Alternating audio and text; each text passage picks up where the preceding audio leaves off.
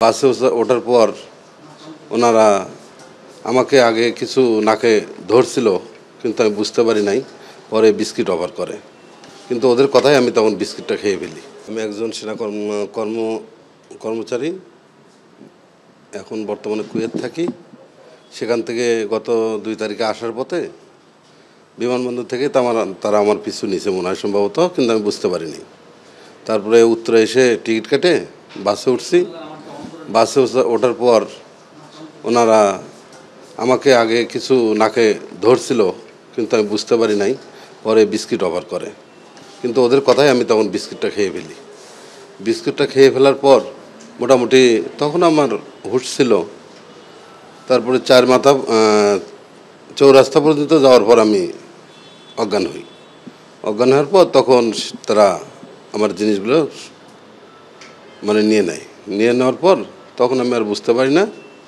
বুঝতে না পেরে তখন আমাকে ওখান থেকে বগুড়াতে যে মেডিকেলে নিয়ে ভর্তি করে।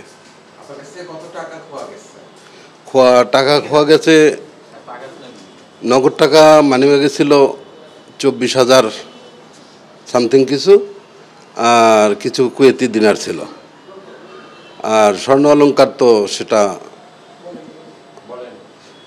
তিনটা নেকলেস তিন জোড়া কানের দুল একটা চেন এবং একটা আংটি। এই নিয়ে মোটামুটি বারো লক্ষ সামথিং কিছু। জি কুয়েত থেকে আসছে। জি। জি, জি। ওই লোকগুলোর কাছ থেকে আপনি বিস্কুট কেন খেলেন? মানে কীভাবে কনভিন্স করল আপনাকে? তারা যখন আমাকে আমার মনে হয় যে নাকে যখন জিনিসটা ধরছে ধরার পরে তখন ওদের আন্ডারে আমি চলে গেছি। আমাকে তারা যা বলতেছে ঠিক তাই করছি সম্ভবত। তো যাই হোক। সব মিলিয়ে আপনার কত টাকার মানে যদি হিসাব করেন টাকার টাকার হিসাব মোটামুটি তেরো লক্ষ ওভার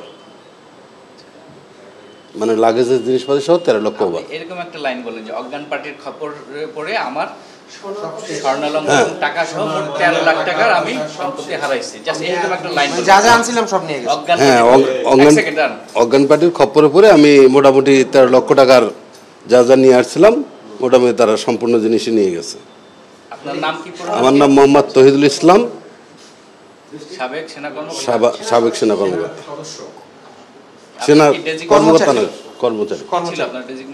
আমি কর্পোরাল। বাড়ি আমার বগুড়া। আচ্ছা আপনার ফোন নাম্বারটা বলেন তো। যে zero one eight eight five zero double nine one three five. ঠিক আছে। ওকে। আর র্যাবে এর জন্য অনেক কষ্ট করছে এবং অনেক পরিশ্রম করে মোটামুটি সাফল্য নিয়ে আসছে। যতটুকুই আনুক তাদেরকে আমি হ্যাঁ এখন পর্যন্ত তো আমার হাতে নেই কিন্তু যা পাইছে মোটামুটি তাদের উপরে আমি খুব খুশি এবং তারা যথেষ্ট পরিশ্রম করছে। জি আমি